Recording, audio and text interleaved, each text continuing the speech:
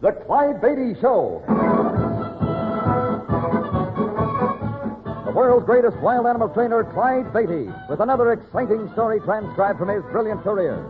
This master of the big cats captures ferocious jungle beasts and trains them to perform under the big top in the circus, where there are always thrills, action, and danger.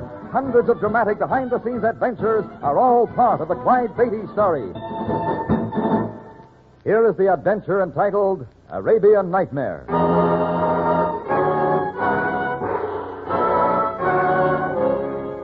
Although wild animals are Clyde Beatty's chief interest, he has never forgotten that a good circus must also have the best in the way of domesticated animals, such as horses. So, with the circus equestrian director, Scotty McDonald, Clyde and Harriet visited Arabia following a safari in Africa. After a day's journey by boat from Djibouti on the east coast of Africa, they arrived at Aden, that strange and colorful city on the southern tip of Arabia. Here's the place, just ahead, Clyde. Ah, Akim Yakar, exporter. Yeah, this is it. I'm glad you got those directions straight, Scotty. I was simple, Clyde. I wrote them down on this paper. Hmm, this doesn't look like a very prosperous place, from the outside at least. Well, Harriet, the man at the hotel, said this Akim fella could tell us where to get the finest horses and camels in Arabia. well, if he can, I don't care what his place of business looks like. My sentiments exactly. Here, honey. Oh, thanks. There's a man at the rear, Clyde. Yeah, that must be our boy. Ah, welcome to my humble establishment. You're uh, Akim Yakar? Your servant. Good. Beatty's my name. This is Mrs. Beatty and Mr. McDonald. How do you do? I am honored. You are American. That's right. Our first visit to Arabia. May I wish for you a pleasant stay in my country. Thank you. And now may I serve you? Well, we were told that you could arrange for us to see the best horses and camels in Arabia. Indeed. We'd like to look some over and maybe buy a dozen of each. I see. And you want only the very finest. That's right. I am afraid that would require your journeying to the camp of Sheikh Ibn al-Fasher. A real sheep? Oh, yes, Mrs. Beatty, a real sheikh. He's one of the leading breeders of horses in Arabia. Ibn al-Fasher is the owner of the famous Rashid. Perhaps you have heard of him? Rashid? I'll say I've heard of him. I'm afraid you boys are getting ahead of me. Uh, what's this Rashid, anyway? Well, Clyde Rashid is the most famous Arabian stallion living. Brother, if we could get some horses from that strain. That I could not guarantee, but of course, El Fasher has other good stallions also. His horses are all of the best. Well, it sounds like he's our man, all right. Now, uh, uh, how, how do we get to see him and his horses? Oh, it can be arranged, but I am afraid it is not an easy journey. Ibn El Fasher's camp is located at an oasis in the desert. It is two days' journey from here. Hmm. And uh, I don't suppose there's a road going that way. Indeed, no. The road only goes to the edge of the desert. You could be driven through the foothills to that point, but from there, the journey must be made on horse or camel. Do you know someone who could take us there? Yes, Abdullah, a friend of mine, has made the trip often. If I can secure his services, it can be done. Well, supposing this Abdullah isn't available. In that case, I would not know what to suggest. Well, how about somebody else? Abdullah is the only man to whom I would entrust this responsibility. When one undertakes such a journey, it is well to have the best leader possible. The Rub al Khali Desert is virtually unexplored.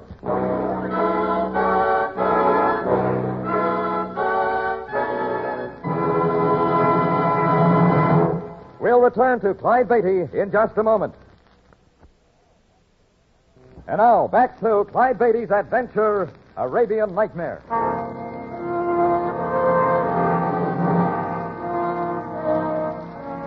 It was almost noon the following day when we arrived at a small camp on the edge of the desert. There, Abdullah arranged for horses, a couple more men, and three camels to pack our supplies. Ahead of us lay a scorched expanse of rolling dunes, a tan ocean with huge waves of sand. As our small caravan prepared to leave, I remembered what Akim had said about this desert being unexplored, and was glad we would only be traveling into it for two days. Here comes Abdullah, Clyde. I guess we're ready to shove off. This is exciting, isn't it? Yeah, and I've got a hunch it's going to be plenty hot, too. Look at those heat waves rising from the sand. If you are ready, we will leave at once, Effendi. We're all set, Abdullah. It is well. Here, honey, let me give you a hand. Oh, thank you. Steady, boy, steady. There you are. Well, I can see there's nothing wrong with these horses. Maybe we could buy some here and uh, save ourselves a trip. Oh, no. We've come this far, and I intend to see the sheik's horses. Oh, I was kidding. I, I wouldn't miss this for anything. Jebel, Ibra, Khazar Ali Malicha. That's strictly up to you now, Abdullah. Do not fear, Effendi. I have lived most of my life in the desert. Unless we run across a band of the hated Saluba, there is nothing to cause worry. The hated Saluba. What are they? They are what you would call gypsies, Effendi. Bedouins who sometimes prey on the caravan. You mean that sort of thing is still going on in this country, Abdullah? Unfortunately, it is true. The Saluba are led by a cutthroat named El Akhtar. They have caused much trouble in the Rub al Khali Desert, Effendi. We continued on through the hot afternoon, not seeing a living thing. And at sundown, Abdullah called a halt. In short order, he and the other two Arabs had erected a couple of tents and prepared food for our evening meal. Pretty cozy, huh? Night on the desert, a nice tent, the smell of good food. Yeah, and a windstorm coming up. Oh. Abdullah said we might be parked here for a day or so unless this wind shifts. It started to blow the sand already. I feel sorry for those poor horses and camels standing out Nah, there. don't worry, Harriet. They're used to it. Sure, they're okay. You know, this Abdullah's an amazing guy. He takes off with us across the desert just like we'd go to the corner drugstore. No compass, no nothing to guide him. How's he know where we're headed? I don't know, Scotty. Maybe he's just got an instinct like a homing pigeon. Oh, hello, Abdullah. The food is prepared, Effendi. Ibra will bring it now. Good. Thanks, Abdullah. I'm hungry, too. The wind has started to shift. I think in the morning we will be able to continue. Oh, that's good news. I hope you're right. You will see. Tomorrow we will be favored with the Nazim. what is the Nazim? The Nazim is the good wind from the south, the zephyr of the Negev. Well, I'd feel better if it turned out to be the Burlington Zephyr. Oh, Scotty, please. Uh, what is this? Nothing, nothing, Abdul. Just a bum joke from this bum, that's all. Ah, the ways of the Western people are most puzzling. Uh, Abdullah, if you're right about this wind dying down tonight, will we reach the oasis of Sheikh Ibn el Fasher tomorrow? We should arrive there at mid-afternoon, Effendi. Oh, good. It would be well for you to rest as soon as you have eaten. We will leave with the coming of the sun. Swell. Tomorrow we'll get to see the finest horses in Arabia, owned by a genuine sheik.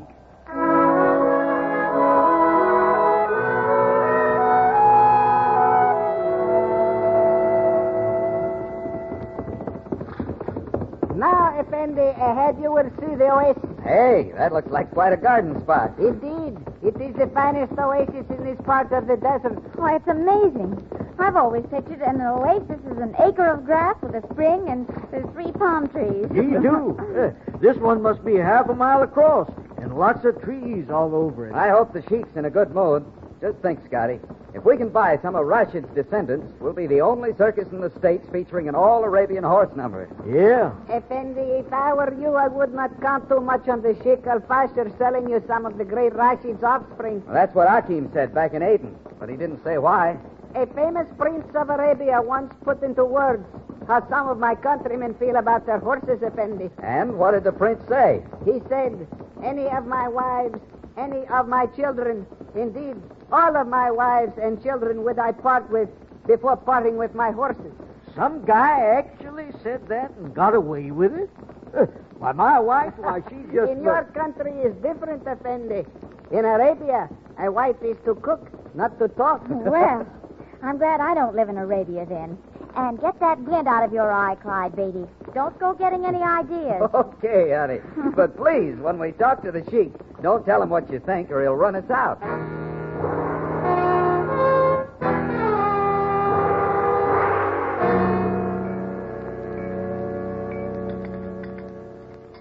Ah, the tea was delicious. Sheik Ibn el-Fasher. Please, Madame Beatty. I know my full name is clumsy to say. Won't you just call me El Fasher? Thank you. That will be easier. And now I know you would like to see the horses. We sure would. Of course, as we rode through the oasis, we saw several pens with horses in them, but we'd like a close look now. It will be my pleasure to show them to you. Will we be able to see Rashid? Oh, I would not let you go without seeing him. What color is he? Black? Oh, no, he's a gray, almost white, in fact. But he does have a black mark on his shoulder. It resembles a hand with fingers extended. But come, words cannot describe Rashid. You must see him for yourself. Well, you sound mighty proud of that animal. Uh, I don't suppose you'd ever consider selling him? Oh, indeed, no. There is not enough money in all Arabia to buy Rashid.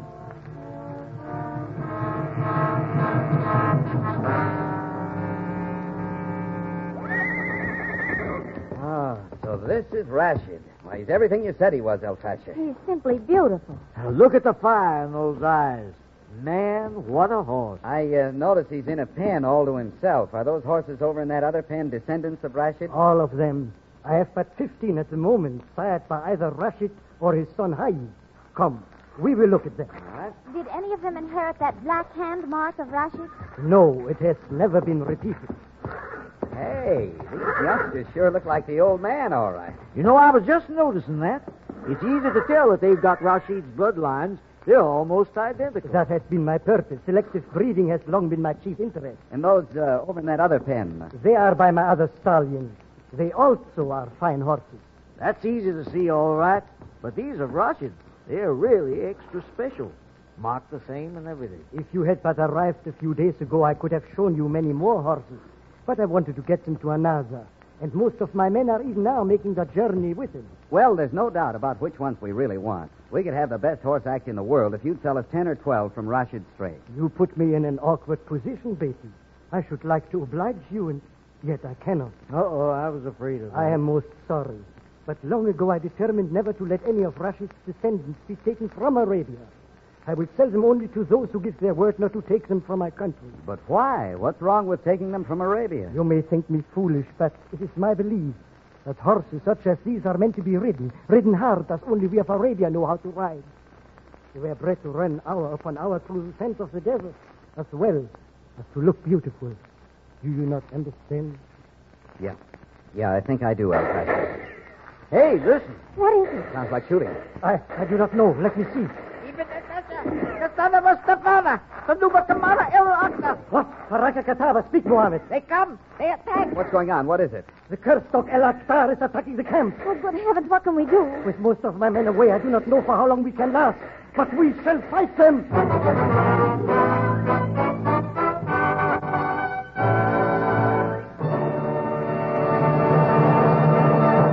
Clyde Beatty will continue with his story in just a moment. And now, back to Clyde Beatty and Arabian Nightmare.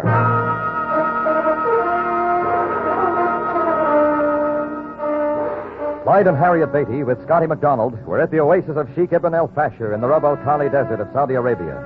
Their hopes of buying some horses descended from the famous stallion Rashid were dashed when the Sheikh refused to sell. And in the midst of the discussion, they were startled to hear shots from outside the camp. Mohammed, get all the men in camp. We must fire El Akhtar and the robbers. Well, give us some guns, Clyde, and I know how to shoot. No. If we fail, it would be better that I be able to give my word that you did not fight against El Akhtar. We'll take our chances on that, El Fasher. No, I know what is best. You will not take up arms against the bandits. Well, why don't you let them come and just give them your money? Wouldn't that be better than having men on both sides killed? You do not understand, madame. It is not my money they come for. Money means nothing to El Akhtar. But No, it is Rashid they want. Rashid? Yes, but he has not caught me unprepared. Against this day, I long ago formed the plan. What do you mean? I have a cave dog, big enough to hold a horse. It is well concealed. I will have Rashid hidden there. Hey, that's a good idea. Yeah, and it might work. Only won't they suspect you've just hidden him? I will tell him Rashid was taken to another with the others. Even if they look, they will not find where he is hidden. oh, thank goodness. It would be awful for that beautiful animal to fall into the hands of a bandit. I will go find Muhammad and have him take Rashid to the cave. Then I must take up a rifle against the bandits. I'll come along. Maybe I can help Mohammed with Rashid. I was going to ask you if you would. Hey, what about Harriet and me? You will be safe here in my tent. Please do not leave. I'd sure hate to see the bandit take that beautiful animal. Muhammad, Muhammad, and attack El Akhtar. I come, master. We are far outnumbered. You must get Rashid to the cave immediately. Effendi Beatty will help you. Do you understand? Yes, master. And the other horses? They do not matter. Leave them in their pens. Yes, master. Beatty, when you and Mohammed have done this, please return to my tent and stay with the others. Okay, El Fasher. From the look of things, I'm afraid we stand no chance of keeping them out of the camp. But we will hold them off long enough for you to hide Rashid. Go now. Right. Come on, Mohammed. El Fasher can't hold them off much longer.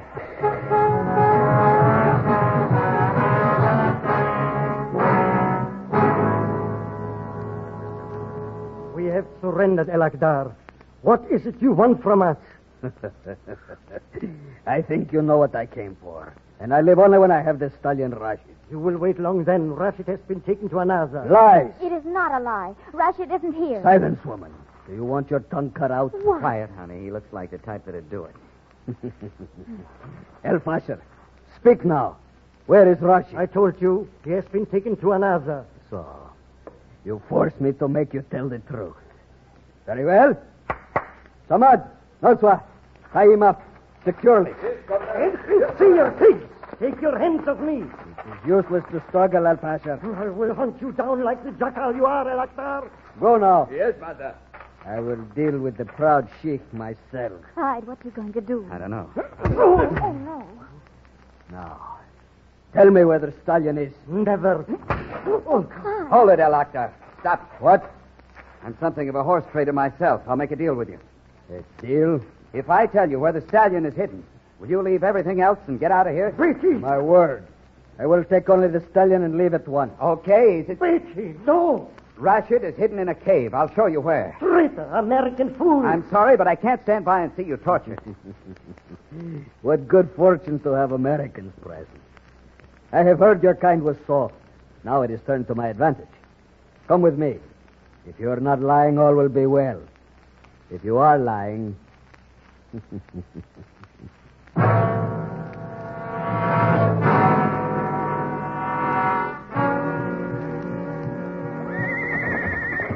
Hold him there, Mohammed. Well, there he is, El Akhtar. At last. The finest stallion in all Arabia.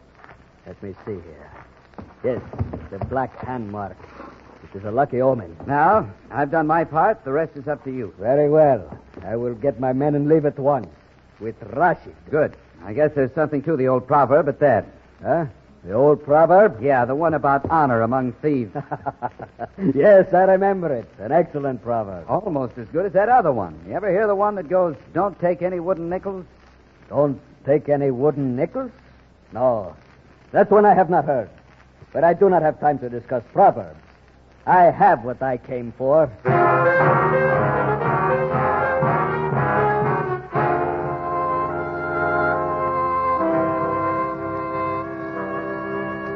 Please, El Fasher. Clyde only did what he thought was right. It was not his place to speak. If he were of my race, I would kill him. Well, Scourge of the Desert is taken off. Yes, and with him my Rashid. well, at least that's what El Akhtar thinks. What? I do not understand. He rode off on one of Rashid's sons, El Fasher. Mohammed and I worked a little switch. Clyde, you mean that wasn't Rashid that was hidden in the cave? Exactly. But how? I thought there was a good chance they'd find out where the horse was hidden, so I talked Mohammed into helping me pick out one of Rashid's sons that looked exactly like him. But the black hand mark. To a man with a fountain pen full of ink, it was a very simple matter. Fountain pens, ink. Hey, a thousand pardons. Rashid's over in the big pen with all the common horses. I, I hope you'll forgive me for that. Forgive you. I owe you a debt which I can never fully repay. But in an attempt to do so, I must insist that you take ten of Rashid's descendants, the ones I refused to sell you a few hours ago. Oh, no, you don't need to do anything Please, to reward it us. is a small pay for what you have done. But El Fasher, you know we want to take them to America. My mind is at rest. They will be in good hands. Gee, that's great. Clyde, I'm sure glad you painted up that other horse to look like Rashid. Yeah. Holy smoke, I just thought of something. Huh? Think of what might have happened if I'd had green ink in my pen instead of black.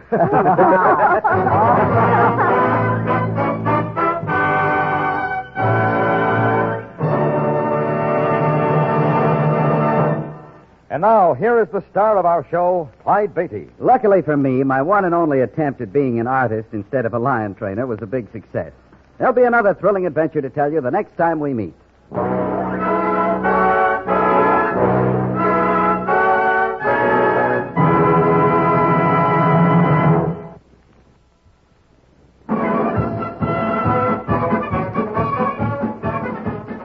Stories are based upon incidents in the career of the world famous Clyde Beatty and the Clyde Beatty Circus.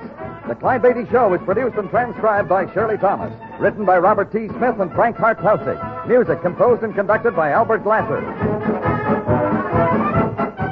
All names used were fictional, and any resemblance to persons living or dead is purely coincidental. This is a Commodore production.